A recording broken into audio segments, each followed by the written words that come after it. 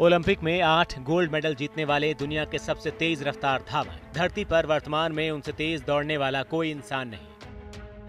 मौजूदा दौर में धरती पर सबसे तेज दौड़ने वाले इस खिलाड़ी ने स्पेस यानी अंतरिक्ष में भी अपना दबदबा कायम किया।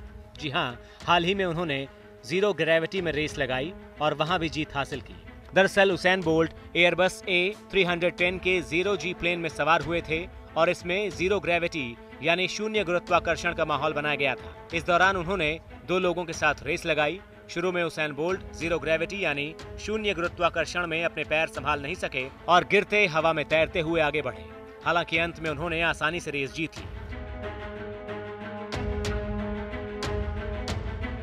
इस रेस में बोल्ट को French astronaut Jean Francis Clervoy और नोवेस्पेस के सीईओ और फ्रेंच डिज़ाइनर ओक्टेव डेगोले ने चुनौती देने की नाकाम कोशिश की थी। आपको बता दें कि इस जीत के बाद हुसैन बोल्ट ने शैंपेन की बोतल के साथ अपने ट्रेडमार्क स्टाइल में सेलिब्रेट किया। ये आम शैंपेन नहीं थी, इस शैंपेन की बोतल को विशेष रूप से स्पेस में ज़ीरो ग्रेविटी में पीने के लिए डिज़ाइन किया गया है। इस बोतल को ऑक्टेव डेगोले ने डिज़ाइन किया है।